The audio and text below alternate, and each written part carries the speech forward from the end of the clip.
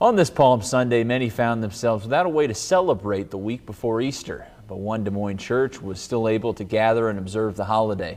The congregation over at Luther Memorial Church met at Grand View University and waved their palm branches out their car windows, as you can see there.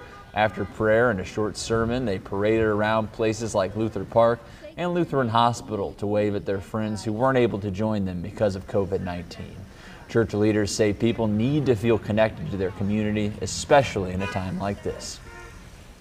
Now more than ever, that in, in the time right now we're asking, we're searching for help, and, and this is a chance to say, God save us, Hosanna, God save your people, God save this nation, God save this world. Bless you. And next Sunday, the church plans to have a similar Easter Sunday service.